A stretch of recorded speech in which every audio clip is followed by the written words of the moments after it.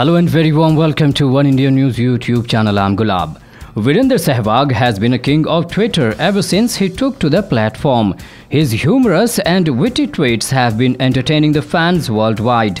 Recently, he came up with a gem of a tweet on Mahendra Singh Dhoni. Sehwag's son Aaryavir made a sketch of Dhoni where the former India captain is seen striking the ball. Sehwag took to the social media platform Twitter to post the sketch made by his son. Virender Sehwag also uploads MS Dhoni and Yuvraj Singh's partnership in unique style. He wrote, Only old notes are out of circulation.